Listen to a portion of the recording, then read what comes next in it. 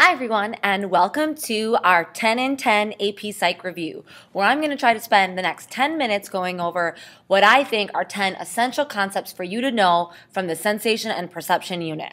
Are you ready? Here we go. So, the first thing you need to know, right, is top down, top or down processing, right? So is it top down or bottom up processing? We talk about sensation and perception, there's two ways that we usually look at things, right? Bottom up processing is when the information comes from the environment and then goes through what I consider the bottom, anything below the brain. So through your fingertips, your nose, your eyes, and then up to the brain, and the brain analyzes it. Versus top down, that's where your brain almost tells your eyes, your ears, whatever, what to expect, and it tells it what to see or hear or smell as opposed to what's actually there, right? Top down is basically perception.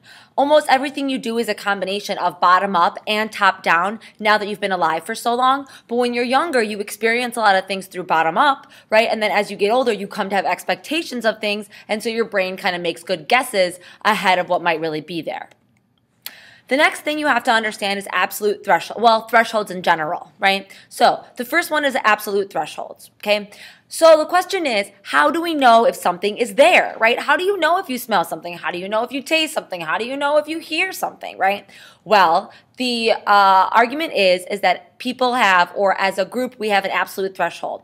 That's what you can detect 50% of the time. So if you are at 20 feet and you can see a candle flickering 20 feet away, and then you go to 21 feet, it disappears, 20 feet, it's there, 20, what, 21 feet, okay, back and forth, whatever, right?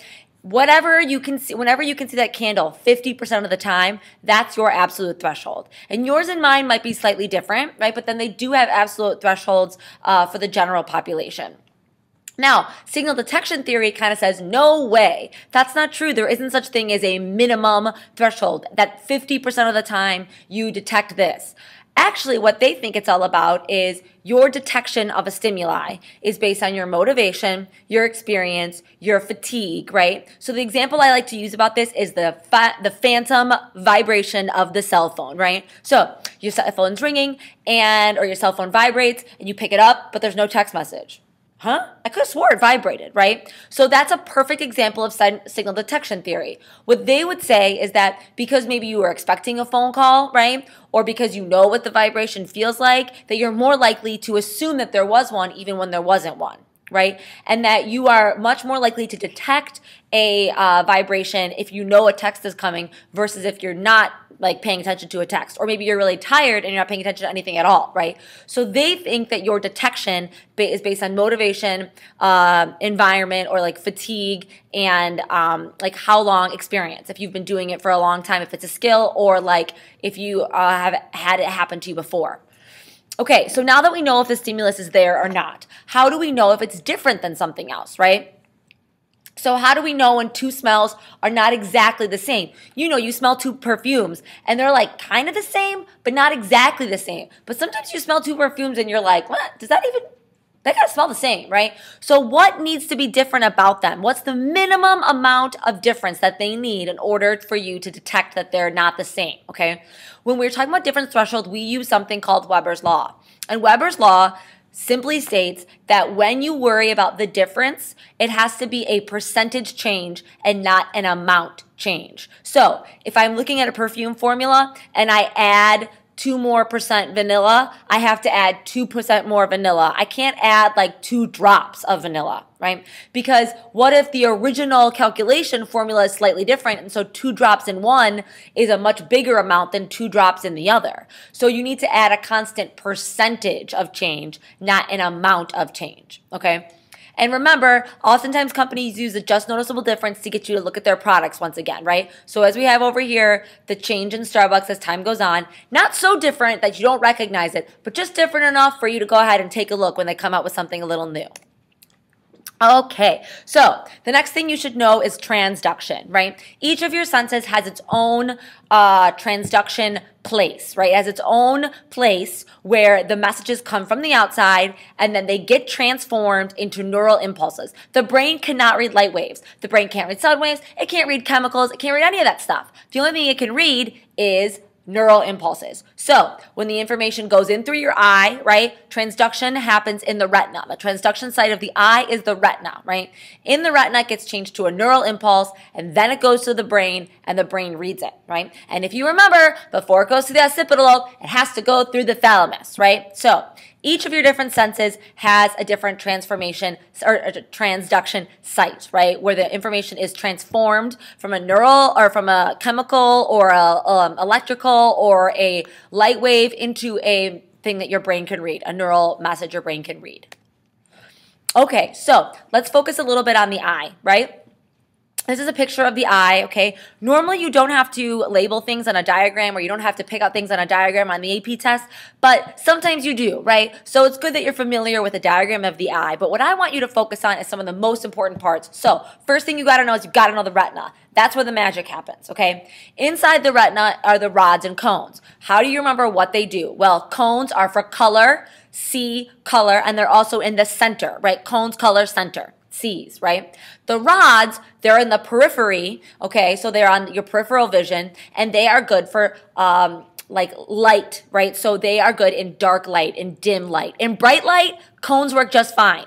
It's in dim light that you really need your rods to be able to see what's going on. And as you can tell, those rods and cones are attached to bipolar cells, which are then attached to ganglion cells. The ganglion cells make the axons of the optic nerve, right? And when the optic nerve leaves the eye, you have a blind spot, right? So in that small little teeny tiny place, there's no retina, so you have a blind spot. Okay. One more thing I want to point out, right, about the cones and the center and the color, right, is a part of the eye called the fovea, right? So the fovea is where it is the clearest. You have visual acuity, right? There's lots of cones there, um, and it is where you have the clearest vision.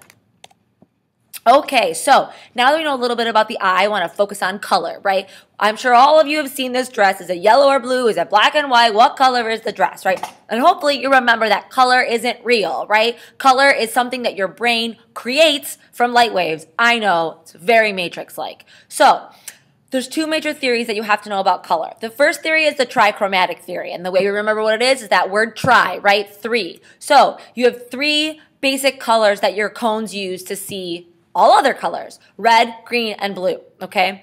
All these colors work in combination to produce other colors. Now, what's the proof that this theory is legitimate? Well, people are red-green colorblind, they're red-blue colorblind, they're blue colorblind, right? And so colorblindness from these colors demonstrates that they must be important and that they those three are the basis, the foundation.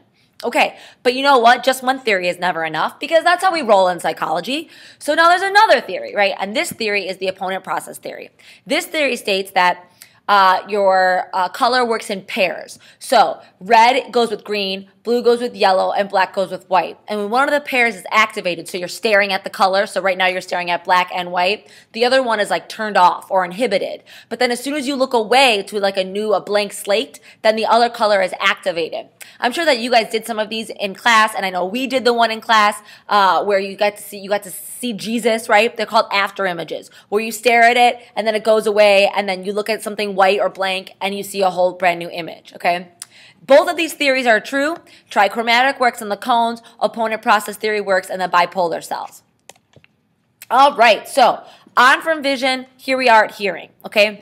What are some of the things you got to know about the ear? Well, first thing you should definitely know is the eardrum. Okay, you should know the eardrum. You should know the eardrum vibrates, right? And that vibration goes through the middle, the bones in the middle ear, right? So you have hammer, anvil, and stirrup, the ossicles, the tiniest little bones in the body, right? And then you know, you see right here, right? Hammer, anvil, stirrup, it goes into the cochlea. And in the cochlea, you have the basilar membrane, and in the basilar membrane, or on the basilar membrane, you have cilia, right? And so the cochlea, and the basilar membrane are the retina of the ear, right? They are the transduction site. They are where the magic happens, okay? And then, of course, it goes to your thalamus and then to your temporal lobe.